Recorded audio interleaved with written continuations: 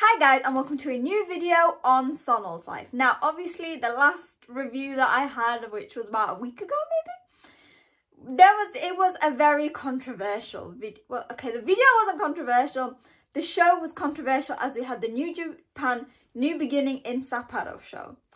But that has happened now. Um I again didn't I wasn't as dramatic as everyone else. Yes there were a few mishaps e.g. in the booking, Gedo. However, I think generally, like, it wasn't, well, it was one of the best shows New Japan has ever done. I wouldn't call it doom and gloom. However, we are now moving on, and in a few days' time, we are not only going to have the um, anniversary show, New Japan as they always do, which will see the IWGP Heavyweight Champion Tetsuya Naito take on, like always, as tradition, the Junior Champion show. That is going to be interesting. However, on this day, we will also have the beginning of the New Japan Cup, which for anyone who is new to New Japan or new to this channel, it is the first major tournament of the year, whether it's heavyweight, junior, tag or singles. And basically this Cup is a chance for someone to win the opportunity to challenge Tetsuya Naito for his IWGP World Heavyweight Championship at the Sakura Genesis show on, well, I can't remember when it is, but it's in April. So I'm going to look through all the participants, matches I'm looking forward to the most, and obviously my wrong predictions. Now, let's bear in mind this year is very different because compared to last year, we don't have the presence of Kazuchika Okada. We don't have Will Ospreay.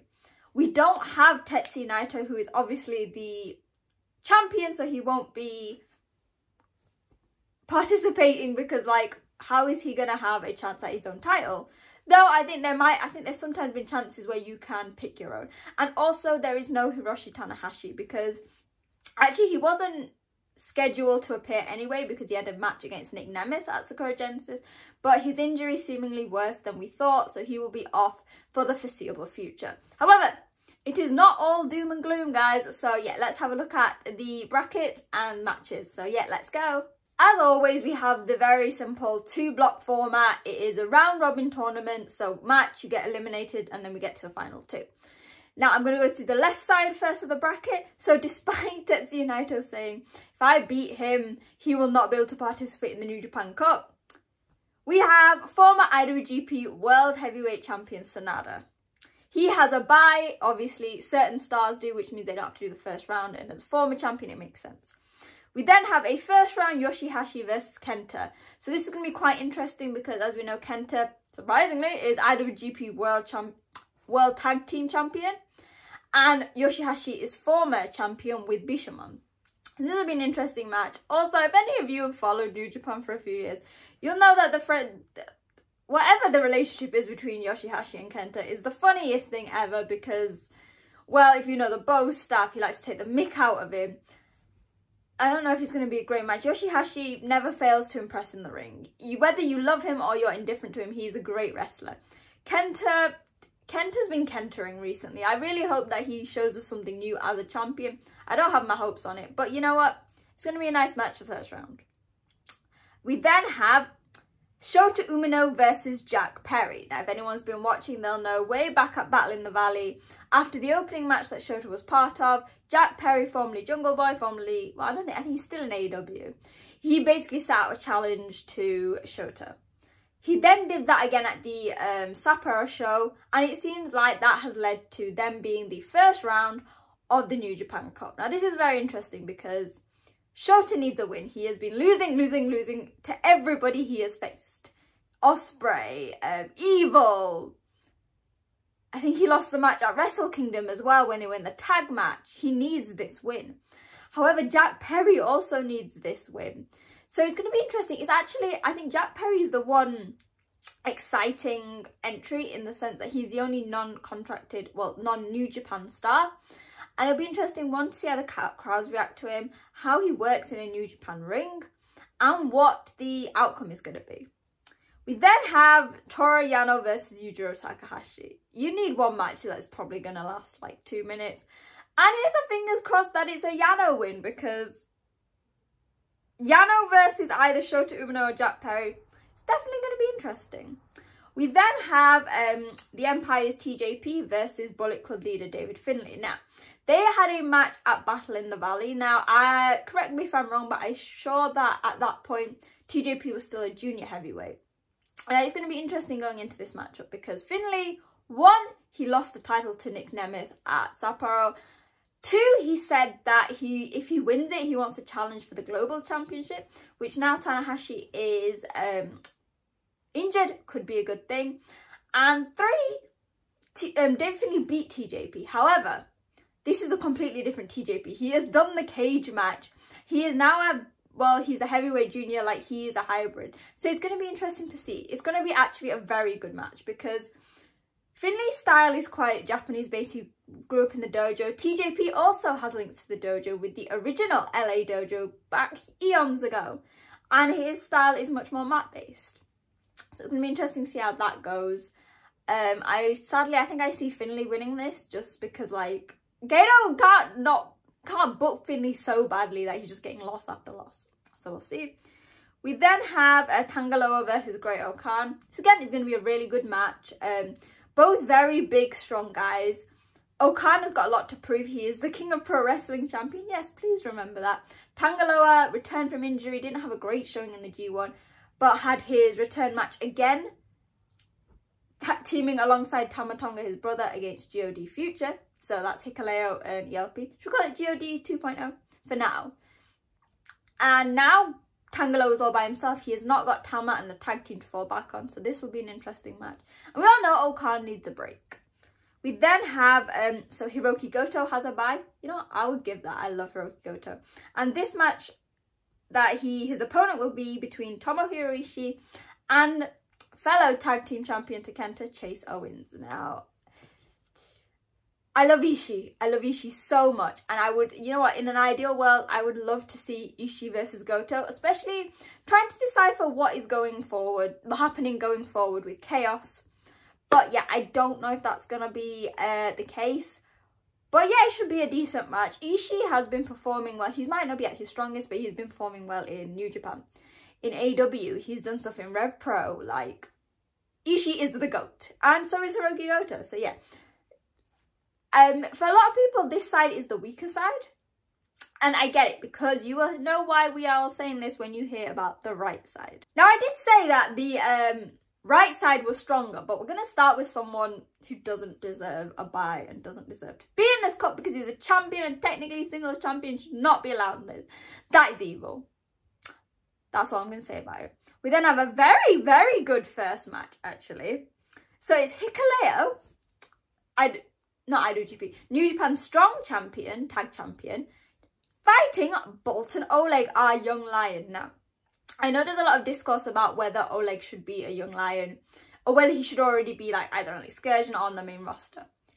It's been a while since a young lion has had such a big opportunity and I think it's perfect for Oleg because while he is fine, he is a great baby face, he's still not, I don't think, fully adapted to the transition to being a professional wrestler from amateur.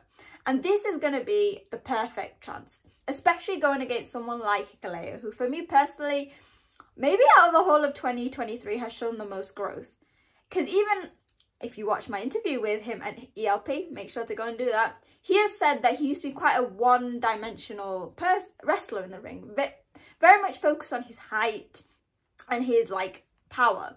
However, since teaming with ELP, he has been much more diverse. You've seen his personality grow and he has become a more all-round wrestler. And I think this is the perfect opponent for Oleg. Two big men and we'll see how that works. We then have another great match. So this is Shingo Takagi versus Yuya Uemura. Now, Uemura has lost his hair after his match against Tsuji at Sapporo. Take what you will. I personally didn't think it was too bad of a match, but I know other people thought otherwise. Shingo Takagi also lost his match. So he lost his match against Taichi. There wasn't really anything on the line except their YouTube channel. But yeah, it was a phenomenal match. So this is Uemura's chance to hit back at all the haters who are saying Uemura is not ready. He is nowhere near close to being the future of New Japan. Because if anyone can bring a good match out of people, it is Shingo Takagi who, along with the likes of Hiroki Goto, Tomohiro Ishii and other names, is someone that you can really count on to be an amazing performer and bring out the best of someone. We then have the Battle of the Brits, the Battle of Essex, the Battle of Nottingham. I think that's what it is. It is Callum Newman versus Gabe Kidd. Now, this I guess cements that Callum Newman is no longer a junior heavyweight. Well, was he ever really, or was he just like the Empire's young lion? Over the past few months since he came to New Japan, he has really been showcasing the best of his talent. While he's been picking up losses, there have been losses against some of the biggest names in the company. Like, even more when he got pinned in the last two shows, he got pinned by Okada. He was in the ring with Okada. And his opponent is the madman, you know, I'm fucking mad. It is Gabriel Kidd who, after a goddamn batshit crazy cage match against the Empire, he is making his return. And I really am excited because you know what, the crowds are obsessed with him. I personally think this is going to be a Gabe Kidd win. I really hope so because then it will cement his future with the company. Because there's been a lot of rumblings at the moment that Gabe Kidd is currently wrestling without a contract. So yeah, this will be interesting to see. We then have, bloody hell, this is, I'm just reading through this. This is actually a great. We then have Yota Tsuji versus Jeff Cobb. Yota Tsuji on a high right now after beating Uemura. However, Jeff Cobb has something to prove. This man has been working his ass off, whether it was when he was under a Ring of Honor contract or now he is signed with New Japan. He has never got a singles title signed under New Japan. He had a never reign while he was with Ring of Honor. But come on, guys. Similarly to a lot of other stars, Jeff Cobb deserves this break. This is going to be a very hard-hitting match. Remember, despite both Cobb and Tsuji being quite big men, they're both very agile. You will see them moonsault and do lucha moves. So I'm excited for this. I also don't know who's going to win. It depends. We then have El Phantasmo and Mikey Nicholls. This again is going to be a great match. Two very different wrestlers actually. So ELP, remember, he is IWGP Strong Champion. Actually, I'm quite sad. I don't think that Shane Haste is in this. But you know what? We've got TMDK representation.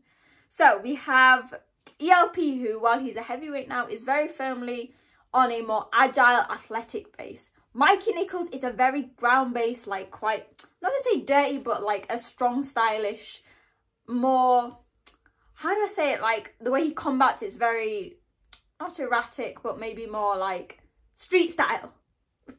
yeah, my explanation is you get the very contrasting in personalities and styles. So this is going to be interesting. Again, um, I don't know who's going to win this. Maybe Mikey Nicholls might get a pin over ELP and then that will lead to a TMDK title shot. So yeah, the last three I'm quite excited about, not in the sense of the actual match, but what could happen. So we have Taichi and facing Ren Narita. Uh, Ren Narita, I don't know what he's doing at the moment. He's being House of Torture. However, the reason I'm excited for this match, because if Taichi wins, the person getting a bye in this is Zack Sabre Jr. Holy Lord, if we could get a match between two former Dangerous Tekkers members, I will be complete. Because if you don't know this, or if you didn't watch it when Dangerous Tekkers was a thing, they were my favourite tag team of all time. Before Taichi went and found a marriage with Sanada, his husband was Zack Sabre Jr. So, while I don't know if Gedo's going to pull some weird stunt, I really hope that Taichi wins this. Now, obviously, there are some big names missing.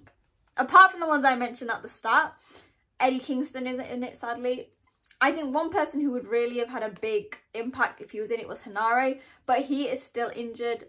Um, Shane Haste isn't in it. I'm trying to think if there's anyone else. Apart from that, I think it's got quite a lot of the New Japan guys. Um, it will be interesting to see how Gedo books this or how New Japan books it in general because this will be the first major tournament since losing guy. Oh, I forgot. Sorry. So since losing guys like Ospreay, um, Aussie Open, I think, as well, Okada and Tama Tonga, who I also forgot to mention at the start. All guys who have always been a staple in the New Japan Cup. Now, for my predictions. I don't even know if I've got any predictions this year. Because I feel like there's like, with so much uncertainty and not really much clear vision going forward, I don't really know. I guess maybe on the left side I have either David Finlay or Shota Umino getting the win. And then on the right side, maybe Zack Sabre Jr. or Yota Tsuji? I don't know. It's, it's a really odd one this year because I'm not going into it like knowing who's going to win. Like, for example, before Jay White left, I was always like, Jay's gonna win, Jay's gonna win. In the G1, I did quite well picking Tetsuya Naito just because the storyline seemed clear. He was gonna defeat Sanada. It was gonna be LIJ versus former LIJ. Ah, oh, should we just pick randomly? Okay, I think David Finlay is gonna win. I think especially now after Tanahashi being pulled out of uh, the Sakura Genesis show, I think that Finlay is going to win and he's going to challenge Nic Nemeth. Or I think, so at first I was going to say Zack Sabre Jr., but I think it's too early for Zack to challenge because I think Naito has a match after Sakura Genesis against John Moxley, which everyone wants. Hmm, maybe either Shingo Takagi or Jeff Cobb or Tsuji. I'm basically just going through everyone. Like I said, I have no idea who is going to be the winner this year. But hopefully it's going to be a really good show with some great matches, some better than others. But yeah, let me know your thoughts. That was a quick look through. Normally I have more like cemented wrong predictions, but I can't do it this time. It's just too open of a field and there are too many big names. But you can tell me your predictions. You can do it at wrestling underscore chat on Twitter or, as is easier, you can do it in the comments below. And while you're there, make sure to hit like, share this video with your friends and hit subscribe because you know what while some people are all doom and gloom about New Japan, I will always loyally be there to cover the shows, uh, do previews, reviews, and everything in between. We've got a busy few months. I think this next few months are really vital for New Japan, and we'll see what the direction is going after losing some of the big names. So yeah, hopefully you guys enjoyed the video enjoy the anniversary show. Let's enjoy the start of the New Japan Cup and I will see you guys next time. Bye!